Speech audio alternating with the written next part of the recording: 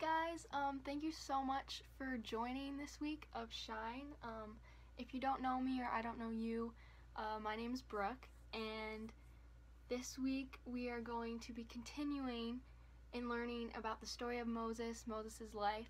But before we get into our message for this week, I just wanted to quick recap what we learned about last week. So last week we started we started in Exodus chapter 1, and we really just learned about the beginning of Moses' life when he was a baby um, and all the baby boys in Egypt were supposed to be killed, which is terrible. But Pharaoh, who was like the king of Egypt, his daughter rescued Moses, and so that's where Moses' story starts off. So today we are going to be picking up right where we left off, which will be in Exodus chapter 2, starting in verse 11. So I'm just going to get right into it. There's a lot to read today. Um, and maybe you guys have heard Moses' story. Maybe you've heard, today we're going to be talking about the burning bush. And maybe you've heard about that before. Um, but I think that there's really something new that we're all going to get from this today. So really just follow along with me. So like I said, starting in um, verse 11, says, Many years later, when Moses had grown up, he went out to visit his own people, the Hebrews, and he saw how hard they were forced to work. During his visit, he saw an Egyptian beating one of his fellow Hebrews. After looking in all directions to make sure no one was watching, Moses killed the Egyptian and hid the body in the sand. The next day, when Moses went out to visit his people again, he saw two Hebrew men fighting. Why are you beating up your friend? Moses said to the one who had started the fight. The man replied, Who appointed you to be our prince and judge? Are you going to kill me as you killed that Egyptian yesterday? Then Moses was afraid, thinking everyone knows what I did. And sure enough, Pharaoh heard what had happened and he tried to kill Moses. But Moses fled from Pharaoh and went to live in the land of Midian. So, right off the bat, this story is pretty crazy. Um, and so at this point in the story, we know that Moses is 40 years old and he had been living in Egypt as the prince of Egypt. And so he also knows that by blood he's an Israelite. And so when he sees how unfair how unfairly the Egyptians treat the Israelites, he's upset about it, right? And so, in his anger, Moses takes matters into his own hands and he murders an Egyptian and then he runs away to save his own life. Um, and I just think something that we can take from this right off the bat is God had a plan to deliver Israel from Egypt. But Moses wanted to take matters into his own hands. He was upset about the situation, and so in his anger, he acted out and he made a really bad mistake. Um, even calling murder a mistake seems like not serious enough. It's like really bad mistake. Um, but this can sound a little bit confusing at first because I feel like everyone knows that Moses is the super like righteous man of God. And so hearing about how terribly he messed up is just kind of crazy. Um, but it really just shows us that God will take even the worst situations and even the biggest mistakes that people can make, and He will use them for good. And so that's exactly what we're going to be talking about today. That's exactly what this whole series is about. So, for the rest of Exodus chapter 2, um, as we read along in the story, we find out that after Moses flees and runs away to the land of Midian, um, there's this group of girls and they're in danger. And so Moses actually rescues them, and their father then invites Moses over to eat with them and Moses ends up marrying one of the daughters and they have kids together. And that's really all that the Bible tells us about the rest or the next 40 years of Moses' life. We know that he gets married, he has kids, um, and that's really the only details that we get for the rest of Exodus chapter 2. Um, so, so far, recapping the story, we know that Moses spent the first 40 years of his life as the prince of Egypt, right? So he lived in like wealth, really nice life, and now, after one mistake that he made, changed his whole life. Now he's living as a shepherd in the desert, um, and it doesn't really seem like much is happening for the next 40 years of his life. Um, at least we don't have any details of that in the Bible. Um, and I think it's easy to look at that and think, be a little disappointed that we don't necessarily know what's happening in Moses' life. But I think what we do know is that God was using that time, even if it was just ordinary, even if it was uneventful in his life, he was preparing him for the really big things that he had next. Maybe God was using this time to humble Moses.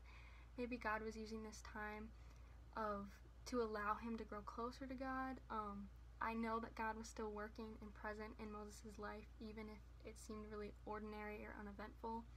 So we're going to pick up in Exodus chapter 3. And so it says, One day Moses was tending the flock of his father in law Jethro, the priest of Midian. He led the flock far into the wilderness and came to Sinai, the mountain of God. There the angel of the Lord appeared to him in a blazing fire from the middle of a bush. Moses stared in amazement. Though the bush was engulfed in flames, it didn't burn up.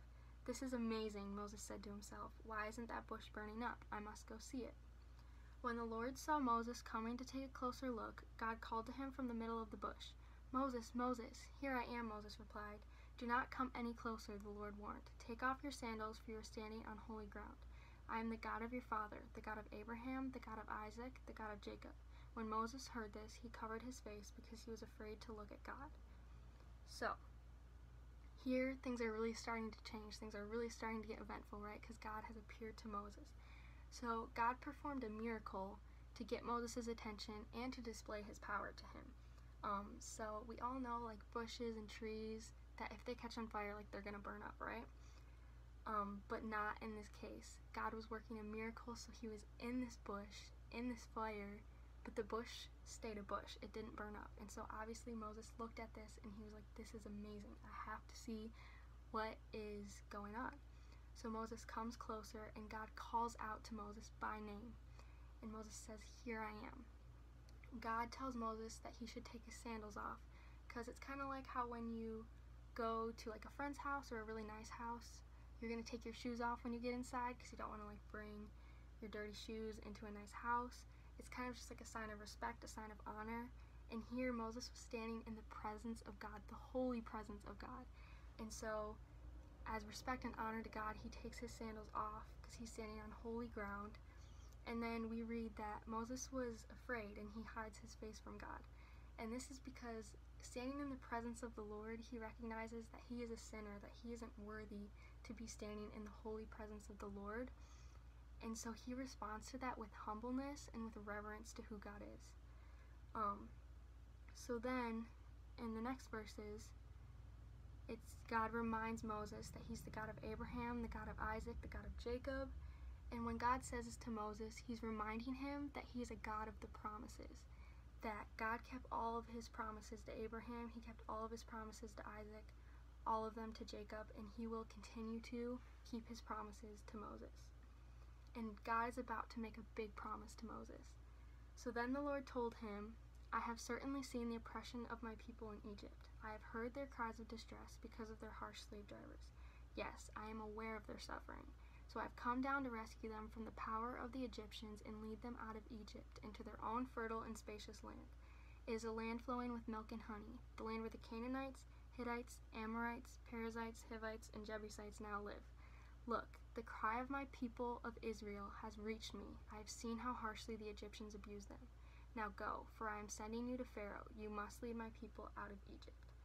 And so that's where we're going to end the Bible story for right now in Exodus chapter 3, verse 10. So here, God is giving a big calling to Moses' life. He's giving him a huge purpose. Um, He's saying that I have heard the cries of my people Israel. I know that they are in distress, but I'm going to rescue them, and Moses, I'm going to do it through you. And this is amazing because we just read about this huge mistake, one of the worst mistakes that you could make, and Moses made it.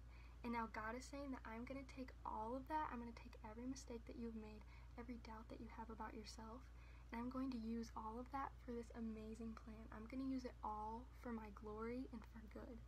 And that's exactly what this message is about. That's exactly what this whole series is about. The main point for today is that God can take our messes and turn them into miracles. It's exactly what he did in Moses' life. That's exactly what he wants to do in every single one of our lives. No mistake is outside of God's forgiveness or God's goodness.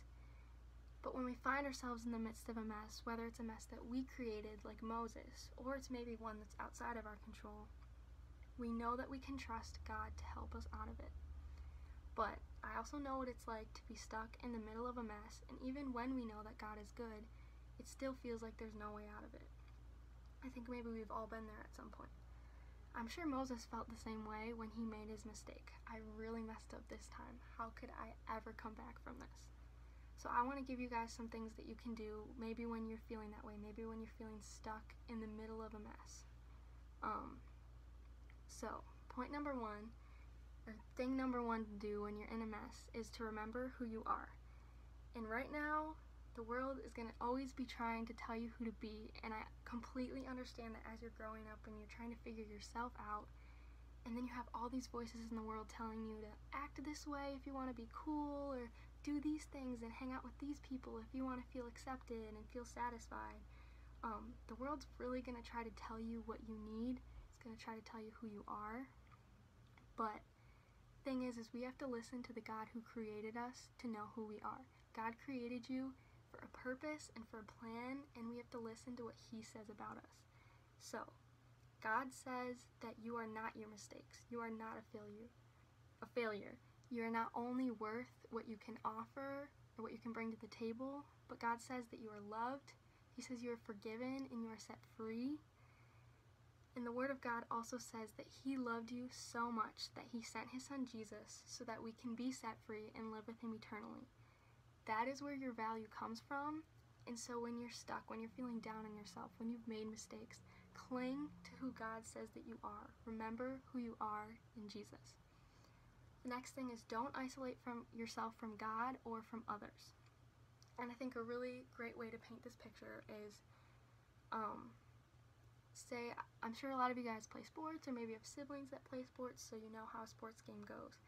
Maybe if you get injured, you hurt your leg playing soccer or football or something, and you're on the ground, it's really hard to get back up when there's no one to help you. So a lot of times when someone gets injured in a sports game, like their coaches or their friends will come around them and pick them up and carry them off the field because it's really hard to do that when you're hurt and when you fall down. It's hard to get back up on your own. Satan wants you to be alone. He wants you to be isolated because when you fall down, it'll be a lot easier for you to stay, stay down when there's no one to help you get back up. We can turn to God and be honest with Him about our mistakes, and He will always help you back up. Not only that, but even at church, you have a community of people who are there for you, who are going to help you, so when we make mistakes, don't run away from people. Don't isolate yourself from God or from people. They're there to help you, so reach out to them. The next thing is that the Holy Spirit is pursuing you. God never gave up on Moses even in his worst mistakes. So be listening and allow the Holy Spirit to lead you. Um, in order for God's will and God's plan to be done in your life, you have to be willing to obey his leadership. So read the Word of God, Follow what it says. Know that the Holy Spirit is always with you and there to help you no matter what you go through. And the last thing that I want to leave you guys with is to pray and to pursue God.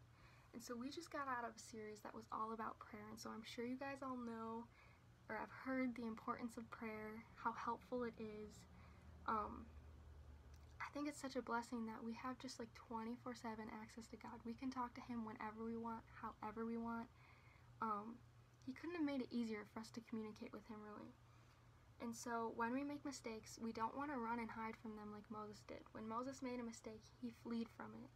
What we want to do is turn to God, work through it in prayer and in God's presence, and we will always become better people because of it. God uses the mistakes we make, He uses the difficulties in our life to make us better people.